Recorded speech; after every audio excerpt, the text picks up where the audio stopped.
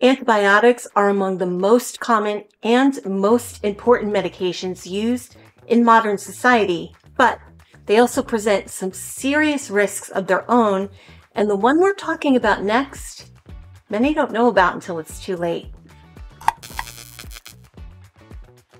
The link between certain classes of antibiotics, like fluoroquinolones, and nerve damage is not new.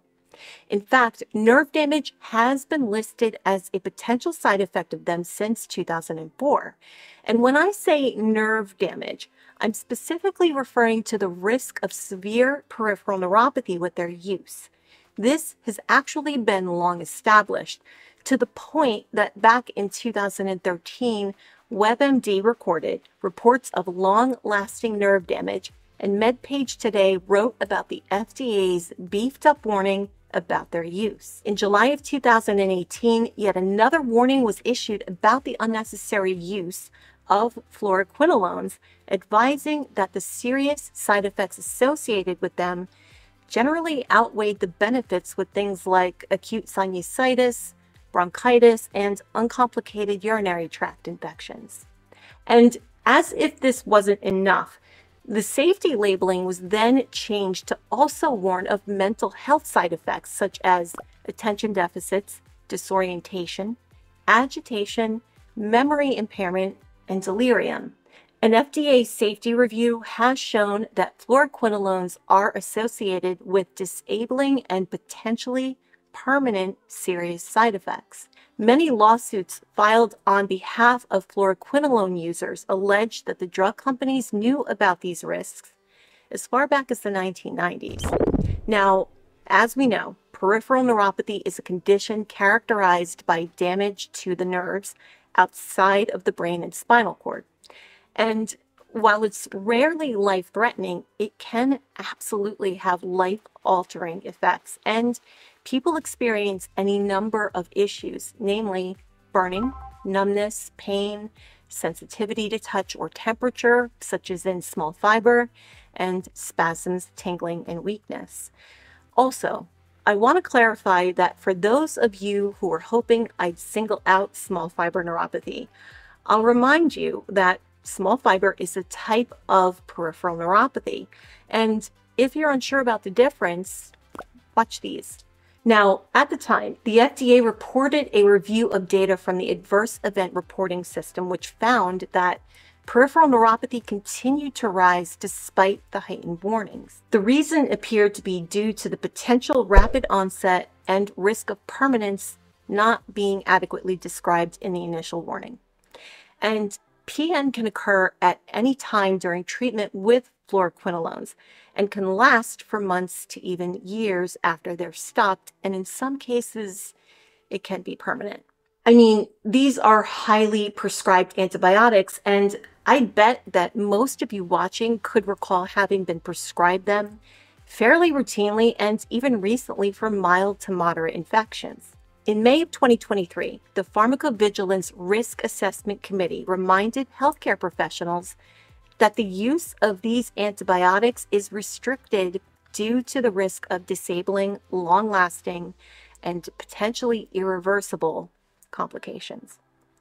And although I've focused on fluoroquinolones so far, they're not alone in the potential to cause severely disabling neuropathy, unfortunately. Others include nitrofurans like macrobid, which is a well-known one, and it's commonly used for urinary tract infections. Metronidazole, used frequently to treat bacterial and parasitic infections. Aminoglycosides like gentamicin or tobramycin are used for bacterial infections. Cephalosporins, such as Keflex, is used for respiratory and urinary tract infections. And then sulfonamides such as Bactrim and Silvadene. And the list goes on. I'll include a full list of antibiotic classes that are associated with neuropathy in the description below. So why does this happen with certain antibiotics? What exactly is going on? Theory one is mitochondrial damage. Some studies suggest that fluoroquinolones may interfere with mitochondrial function. Mitochondria are the energy producing structures within cells, and disruption of them can lead to oxidative stress, which damages nerves. And let's quickly clarify. Oxidative stress is defined as a disturbance in the balance between the production of free radicals and our body's ability to defend against them through the use of antioxidants. And everybody knows antioxidants, vitamin C, vitamin E, beta carotene, lycopene, which is found in ketchup, flavonoids and tannins, which are also found in red wine and tea, phenols found in things like grapes, berries, coffee, green tea, etc. According to Areti, Yerra, Naidu, and Kumar, intracellular oxidative stress can cause peripheral nociceptor sensitization, and nociceptor means pain receptor. So basically, this is saying that oxidative stress in the nerve can cause stimulation of the nerve pain receptors by elevating the levels of substances that produce inflammation. All these metabolic, bioenergetic, and functional deficits in nerves lead to the development of peripheral nerve damage. All right, theory two axonal transport disruption. So axons are these tail-like extensions here, and fluoroquinolones may interfere with axonal transport, which is the process by which protein molecules such as myosin, dynein, and kinesin are transported along the length of a nerve. And here I'm going to paraphrase the following video by USCF professor Ronald Vale, who explains how these motor proteins work and why they're so crucial to our survival. Just like a busy city, there's constant motion inside of your cells. There's new construction, demolition, and most importantly, transporting goods from one place in the cell to another. Cells transport goods along cellular roadways. To transport cargo along these roads, the cells use motor proteins. Kinesin is one of these motor proteins. If you didn't have kinesin and other motor proteins, you simply wouldn't be alive. So the development of new tissues and nerve growth requires molecular motion carried out by these motor proteins. So here you see kinesin has two legs and they walk along a track called a microtubule and get hooked up to cargo, which eventually converts chemical forms of energy or ATP into motion. DNA and all of the building blocks for that nerve cell are made in the brain and spinal cord way up here, but they need to be shipped to the very end of that cell, sometimes a meter away, all the way down by your foot, let's say. Here, you see motor proteins moving their cargo to the cell surface. Really incredible. Kinesin moves their cargo from the cell body out to the end of the nerve axon. Dynein moves in the opposite direction and transports cargo from the tip of the nerve axon back towards the nerve cell body or the nucleus. Ultimately, for our purposes, cells complete all of these functions with the sole purpose of converting energy into a usable form. When this is disrupted, our nerves malfunction, leading to impairment and eventual degradation of the nerve itself. Theory three is neurotoxic effects. So fluoroquinolones and other antibiotics have been shown to have direct neurotoxic effects on nerve cells. And these effects can interfere with certain enzymes like acetylcholinesterase, which is responsible for stopping the function of acetylcholine at the nerve synapse here. Acetylcholine is the main neurotransmitter used for muscle contraction, but it's also a key player in the autonomic nervous system and can affect memory, heart rate, digestion, arousal, and attention. It's another crucial component of nerve function, and these antibiotics can disrupt their normal signal flow. Theory four is immune response. So, antibiotic induced peripheral neuropathy may involve an immune response in which a massive amount of inflammation is triggered which then contributes to nerve damage. This hypothesis is pretty straightforward as we know any type of inflammation is bad.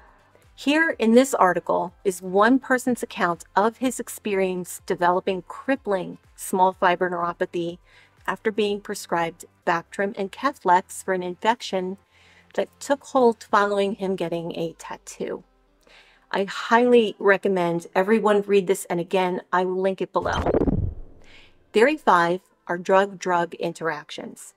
So, certain antibiotics may interact with other medications, enhancing their neurotoxic effects. According to the Peripheral Neuropathy Foundation website, drugs that may cause PN include anti alcohol drugs or antabuse, anticonvulsants such as dilantin, cancer meds or chemotherapeutic agents like cisplatin, oxaliplatin, taxanes, vincristine, immunomodulatory drugs such as thalidomide, immunocheckpoint inhibitors like Opdivo and Keytruda, heart or blood pressure medications such as amiodarone, hydralazine, colchicine, which is for gout, antibiotics, as we've mentioned, which is metronidazole, flagyl, fluoroquinolones such as Cipro and Levaquin, anti-tuberculosis drugs such as isoniazid, pyridoxine, which is vitamin B6, and then finally,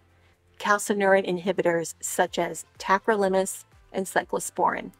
And I do want to specifically touch on the antibiotic Bactrim. So Bactrim is a combo drug of sulfamethoxazole and trimethoprim. Trimethoprim inhibits folic acid and sulfamethoxazole is a sulfa antibiotic. So Bactrim is a sulfa antibiotic and folic acid inhibitor combined. The interesting connection here is the role of folic acid in nerve health. It does two very, very important things. It promotes both Schwann cell proliferation and the secretion of nerve growth factor. So Schwann cells play a vital role in maintaining the health of peripheral nerves. Their job is to make myelin and surround the axons with this protective fatty covering to keep them alive and streamline those nerve impulses.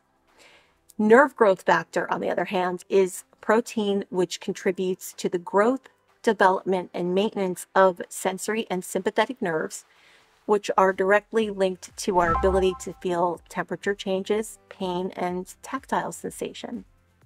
So taking high or long-term doses of an antibiotic that inhibits folic acid is pretty concerning because it can lead to a decreased ability of our nerves to grow and repair themselves. And I actually go into greater detail about nerve growth factor in this video. All right, so now that you know that this can happen, how do you prevent it? Um. So out of the gate, identification of risk factors that may predispose someone to neurotoxicity is imperative and the most important initial step, really. These include extremes of age, so either the very young or the elderly. Anyone with impaired renal function because the body is not going to process medication as quickly or as efficiently as someone who has normal kidney function. A history of central venous system disease or peripheral nerve disease to begin with, such as MS or CIDP or autoimmune disease. Other important factors to consider are body size. Is this dose appropriate for what's going on? And then finally, are there any other medications that you're taking that may have neurotoxic or nephrotoxic effects because if so, adding one of these antibiotics is just going to compound that risk. Now, if you're taking one of these mentioned antibiotic classes and you're feeling any tingling, burning, loss of sensation, weakness, just not feeling right, you want to consult your provider immediately. Symptoms usually present as sensory more than motor and include distal pins and needle sensations, um, burning, stocking, glove type sensory loss. Both small and large fibers can be involved, with large fiber involvement presenting as diminished or even absent deep tendon reflexes. Motor nerve involvement if present at all early on, is typically less pronounced, but can occur later if there's no intervention. And that will usually show up as muscle atrophy and pretty significant weakness. Onset may be insidious and will typically progress if the antibiotic is continued. In most cases, symptoms improve or completely resolve after the offending drug is discontinued, especially if caught early enough, but depending on the circumstances, recovery can also be slow or incomplete if there's been prolonged use, especially. In most cases, timely discontinuation of the antibiotic is sufficient. In severe cases, plasmapheresis may be also beneficial. Future treatments using neurotrophins may blunt neurotoxic effects. And if you're saying to yourself, the heck are neurotrophins, Danielle? It's nerve growth factor. This is being heavily studied for the treatment of neuropathic pain. In the interim, what can you do to aid your body in recovery? So, briefly, managing the issue with over the counter supplements has been shown to be extremely helpful in both alleviating the pain and decreasing inflammation to allow the nerves to heal. Many find that taking a combination of R-alpha lipoic acid and benfotiamine, low dose naltrexone, CoQ10, L-carnitine, or creatine. L-carnitine is an amino acid, and things like fish oil also make a massive difference. Increasing intake of anti-inflammatory foods such as greens, turmeric, and healthy fats, as well as cutting down on sugar as much as possible, has also been shown to provide relief. There are numerous supplements dietary changes and devices that can help with this pain and give your body the space that it needs to recover. So watch these next to find out my recommendations. I'm Danielle Minetti. This has been Lucid Med. And for those viewers that keep messaging me about this t-shirt, I love, this is my ultimate, one of my all-time favorite t-shirts by a creator. It's Imagination Brands on Instagram. I will also link that in the description. The creator of these t-shirts has the most insane imagination I have ever seen. I have so many of these t-shirts. I'm going to wear one each day uh, for each video throughout December. This one's a little past the mark as it's it's Croctober little past Croctober, but you gotta love, you gotta love a crocodile holding a crock pot. I mean, can you can you say anything more? I can't really say anything more about that. Just go check out Imagination Brands.